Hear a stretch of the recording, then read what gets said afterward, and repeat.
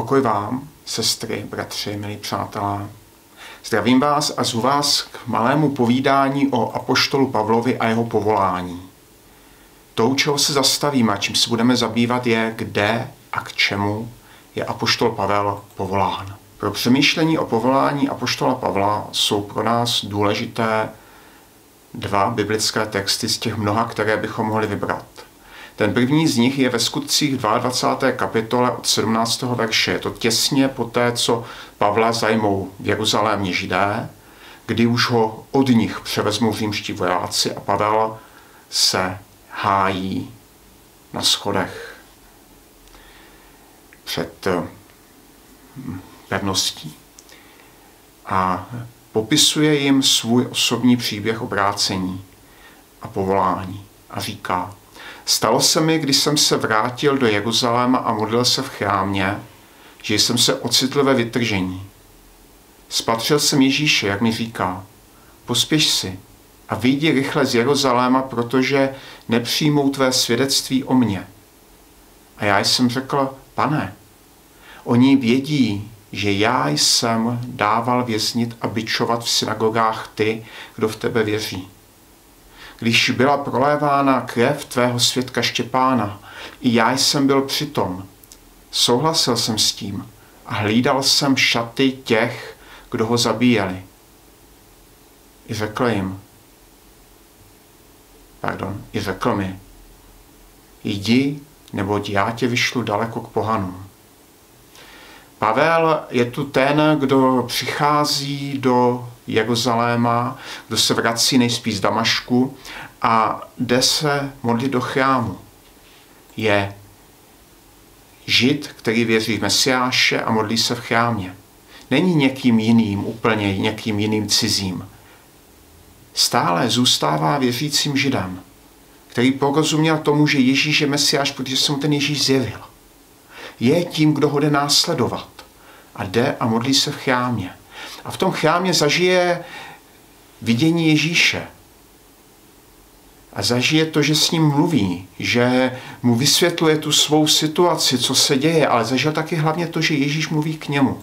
Že Ježíš mluví k němu, pospěš si, vyjdi z Jeruzaléma, protože tvé svědectví nepřijmou. Přesto, kým zbyl a co jsi udělal, jdi, neboť já tě posílám k pohanům. Máme před sebou zbožného žida, který v chrámě zažívá zjevení svého mesiáše. A je jim povolán ke službě. A zhruba za deset let po této události se odehrává následující situace. Pavel se vrací z Jeruzaléma, kde byl eh, s Barnabášem a Janem Markem, kterého přibírají spolu, eh, odevzdat sbírku. Vrací se do Antiochie a v Antiochii se děje následující. Barnabáš a Saul splnili službu. Vrátili se z Jeruzaléma a vzali s sebou i Jana Marka. V Antiochii byli místní církvy, proroci a učitelé jako Barnabáš, Šimon zvaný Černý, Lucius Kyrénský, Manahem, společně vychovaný s tetrarchou Herodem a Saul.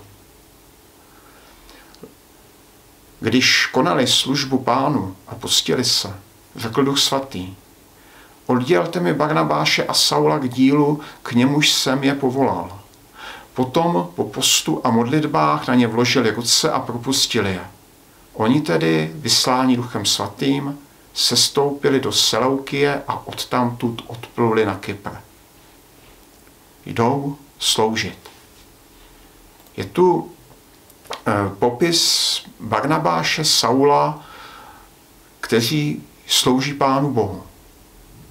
Kteří konají sbírku, ke které je poslala církev, kde se děje něco nezvyklého pro tehdejší dobu, že někdo, kdo není žid, nebo z velké části, kdo nejsou židé, přispívají nějakým židům někde jinde na jejich potřeby.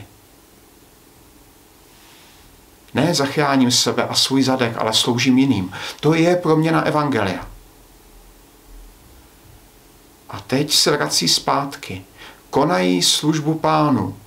Postili se a tehdy k ním mluví Duch Svatý. Asi se nějak modlí. A nebo vyučují. Přičem to je to konání služby pánu. Přitom, když rozdávají jídlo vdovám, přitom, když kážou evangelium,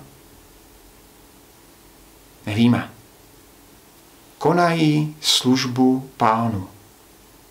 Možná se nejspíš modlili, možná tam opravdu je zatím jen ta liturgie a uctívání, ale možná je zatím i něco dalšího, kdy k ním ten Bůh mluví. Tady k těm učitelům a prorokům. To nás svádí k té modlitbě. Jisto jistotné, že potom následuje ten půst a modlitba. Ale důležité je, co jim ten Duch Svatý řekl. Oddělte mi Barnabáše a Saula k dílu, k němuž jsem je povolal. Pošlete je sloužit. Pošlete je k misi, k tomu, co je nové, co jsme nikdy nedělali. Protože doposavať se většina misie odehrávala tím, že ti lidé tam přišli, žili a sdíleli evangelium. Sdíleli svou jinakost tím, že poznali Ježíše jako mesiáše a že žijí jinak. A přinášeli to jako radostnou zvěst těm lidem okolo sebe. Nebylo to žádné velké misijní hnutí, kde by se nutně kázalo vždycky na ulicích. Ale bylo to to prvotní, že jeden žid řekl druhému židu a ten řekl svému nežidovskému sousedovi, se kterým se nějak znal a přátelé a z toho to vyšlo.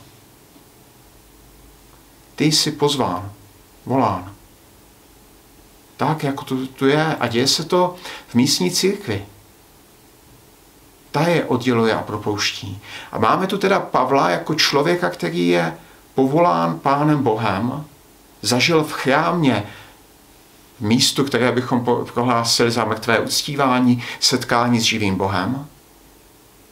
Zažil v církvi, že k ním promluvil Duch Svatý o tom samém a vychází to činit.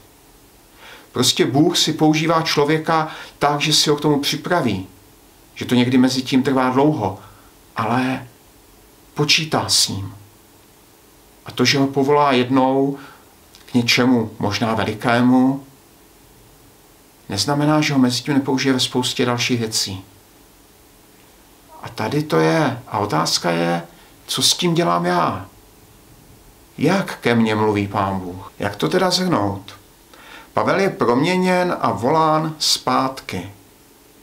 Má porozumění zvěsti, zkušenost služby, proměnu charakteru, kterou prošel.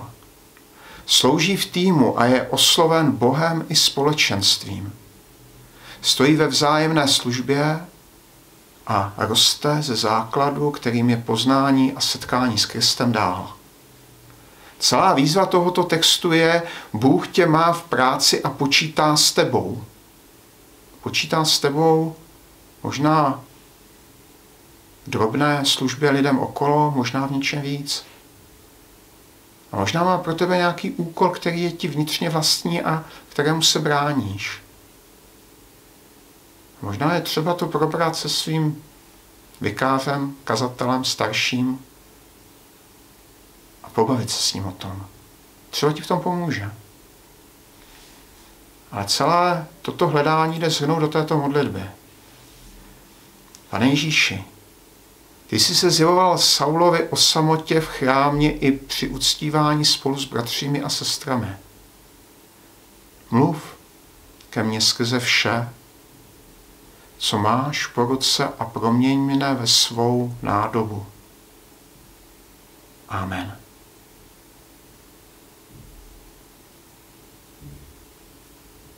Děkuji za pozornost.